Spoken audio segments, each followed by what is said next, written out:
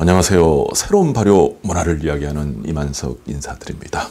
자, 오늘은 직장에 대해서 어, 말씀을 드리고자 합니다.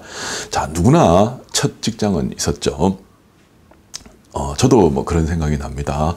이렇게 그 학교를 마치고, 어, 첫 직장을 가게 되면 이제 아무래도 어, 부모님들이 양복을 하나 맞춰줍니다. 양복 딱 입고, 넥타이 메고, 어, 그리고 이제 반짝이 구두 신고, 어, 회사를 이제 출근을 하는 거죠. 이거 출근해서, 어, 뭔가 좀 폼나는 일을 하는 줄 알았는데, 그런 게 어디 있습니까? 우통 벗고 이리 뛰고 저리 뛰고 온갖 회사의 밑바닥 일은 다 해야 되는 게 어, 그때 일이었었습니다.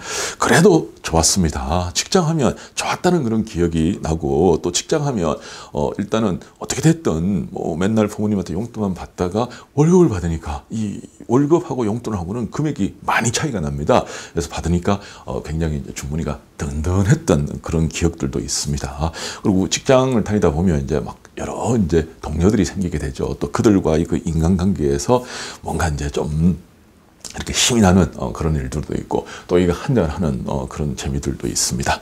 자 그렇게 어, 좋았던 직장들 그걸 자꾸 다니다 보면 이제 진급도 하고 어, 밑에 이제 어, 또 후배 직원들도 들어오게 됩니다. 그리고 어, 나름대로 이제 월급도 올라가면서 뭔가 어, 참 좋을 거라고 그렇게 우리가 생각을 했는데 요즘 직장 어떻습니까? 여러분들 뭐 요즘 언론 이런 거 쭉 보면 알지만 GM 군산 공장 폐쇄한다 선언했습니다. 그리고 어, 문 닫는 직장들 지금 엄청나게 많다고 그럽니다. 그래서 여러분들이 어, 생각했던 그 직장 이제 어, 그런 직장 별로 없습니다. 그런 꿈의 직장 별로 없습니다. 가만히 있어도 어, 뭔가를 해주는 그런 직장 별로 없습니다. 많은 걸 요구합니다. 여러분에게 엄청난 스트레스를 줍니다. 이것도 해라, 저것도 해라. 아, 그게 지금 직장입니다. 그렇게 직장 생활 하는 사람들 매일 그럽니다. 사표를 썼다가 넣었다가 썼다가 넣었다가 이런 분들이 많다고 합니다. 내, 제 주변의 친구들도 때려치운 사람 억수로 많습니다. 그리고 그들이 선택하는 게 있습니다. 뭡니까? 자영업입니다. 내일 한번 해보자. 내 사업 한번 해보자. 이래가지고 어, 내 친구 중에 내가 굉장히 좋아하는 친구는 통닭집 하고 있습니다. 해운대에서. 근데 지경입니다. 장사 안 된다 그럽니다. 예전 같지 않습니다. 왜 그런가 처음에 달렸는데 보니까 이자도 통닭, 저기도 통닭, 여기도 통닭, 온 천재로 통닭집 생겨가지고 지금은 옛날 매출 절반도 안 된다 그럽니다. 그리고 어, 그 다음으로 하는 게 먹는 장사입니다. 식당 장사. 식당 하면 통계가 있습니다.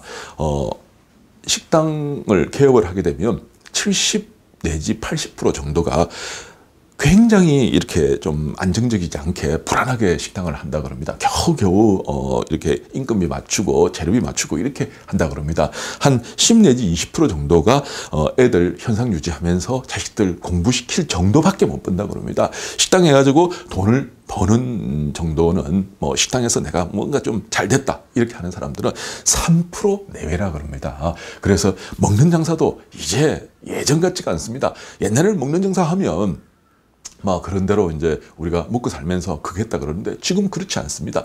프랜차이즈 어, 좀 더 안정적으로 하려고 프랜차이즈 하지만, 어, 맨날 텔레비에 나오죠. 뉴스에 나옵니다. 어, 본사 배만 불리고 프랜차이즈 업자들한테 굉장히 불리한 그런 계약을 해가지고 막 괴롭힌다, 어쩐다, 막 이런 이야기들이 나옵니다.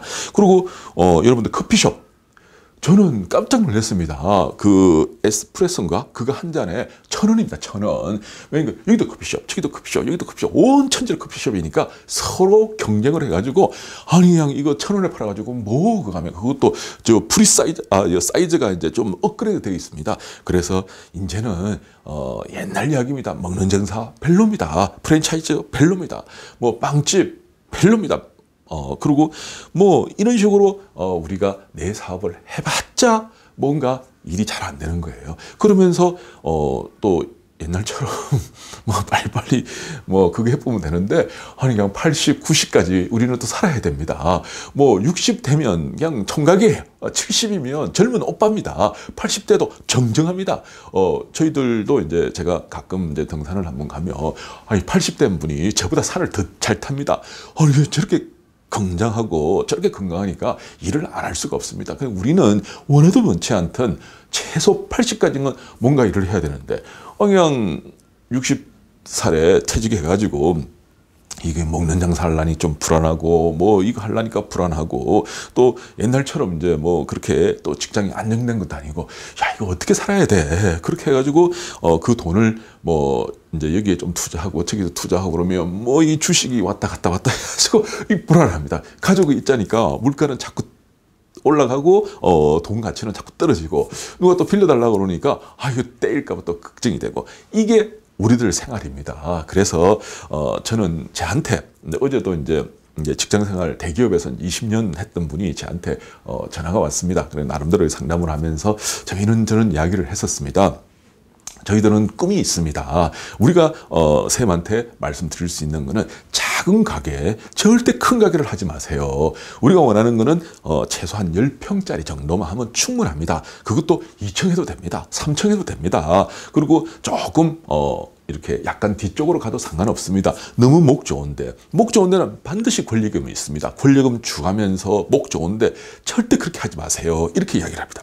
그러면 대부분 프랜차이즈나 대부분 어, 업종들이 일단 장사는 목이 좋아야 된다. 일단 그한데 저는 정반대로 이야기하니까 그 사람들이 어머를 가집니다. 그게 무슨 말이냐고. 저는 그분 또 더 솔직하게 이야기해 줍니다.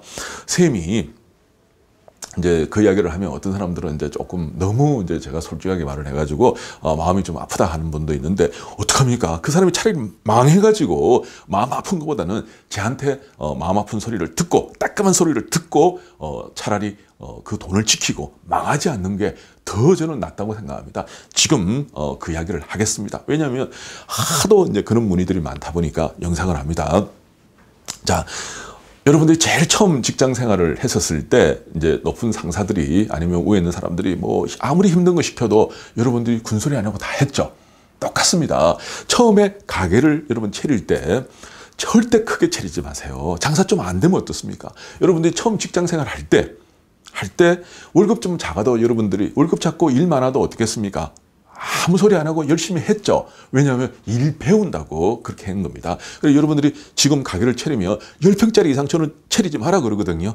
10평짜리. 그것도 권리금 절대 주지 말고 인테리어 절대 비싼 거 하지 말고 그냥 조그맣게 보기 싫지 않을 정도만 하세요. 이렇게 합니다. 똑같습니다. 처음 직장 생활 하는 거나 처음 가게 하는 거나 같은 마음으로 해야 됩니다. 그리고 직원들 두지 마세요. 웬만하면 같이 하세요. 부부가 하는 게 최고로 좋습니다. 어, 남편하고 아내하고 둘이 사는 게 제일 좋아요. 힘든 거는 신랑이 좀 들어주고, 어, 그리고 또 소소하게 하는 거는 아내가 하면 됩니다. 그래서 이제, 어, 그렇게 이야기를 하고 있습니다. 자, 두 번째. 3년을 버티기를 하세요. 이렇게 이야기를 합니다. 여러분들이 처음 직장 갔었을 때 회사에서 여러분한테 중요한 일을 절대 맡기지 않습니다. 왜냐하면 경험도 없고 실력도 없고 신뢰도 안 가고 이렇기 때문에 일 배우라고 허드렛을 막 시키는 거예요. 처음에 여러분들이 가게를 열었다. 3년 버티는 게 사실은 제일 중요합니다. 3년을 버텨보면 다 알게 됩니다. 저절로 알게 됩니다. 손님이 뭔지, 사람들이 뭘 좋아하는지, 사람이 뭘 찾는지 전부 다 알게 됩니다. 그래서 처음부터 직장에 들어가가지고, 어, 중요한 일을 안 시키듯이 가게 문 열자마자 대박 나는 가게 없습니다. 어, 문 열자마자 장사 잘 되는 가게 없습니다. 어, 우선은 뭐 한뭐 뭐 6개월, 1년 잘 될지 몰라도 처절한 대가를 치릅니다. 그 뒤에 어, 다시 또 어, 여러분들의 나름대로의 노하우 내공이 없다 그러면 그 뒤에 그 여지없이 깨집니다. 그래서 어, 저희들이 처음 시작할 때는 꼭 3년을 한번 해보세요. 그리고 그 3년 중에서 1년은 반드시 공부를 해야 됩니다. 요즘은 고객이 우리보다 더 똑똑합니다. 그래서 어설픈 그런 실력 가지고 샵 열고 가게 열었다가는 고객한테 창피당하기 딱 좋습니다. 그래서 어 3년을 버텨라. 3년 정도를 여러분들이 하게 되면 그때는 안정감을 찾게 됩니다. 아 이런 거구나 하면서 알게 되고 어 그때 어 여러분을 좋아하는 사람이 그 가게를 찾아옵니다. 그걸 우리는 단골이라고 이야기를 합니다. 단골이 생기게 됩니다. 그리고 어 고객들한테 여러분들이 인정을 받게 됩니다. 이게 신뢰라고 저는 표현을 하고 싶습니다. 내 단골한테 내가 인정을 받는 거, 내가 신뢰를 받는 거, 그게 바로 돈입니다. 그 신뢰를 받는데 3년 정도 걸립니다. 그렇게 하다 보면 어, 여러분 마음속에서 야 내가 정말 이 일을 잘 택했구나. 어, 내가 이 일을 정말 나 열심히 하고 싶어. 이렇게 하니까 굉장한 보람이 있어. 그리고 뭐 큰 돈을 못 벌어도 어, 내가 양심적으로 사람들한테 하니까 사람들이 이렇게 나를 인정하고 나를 좋아하고 다시 또 찾아주는구나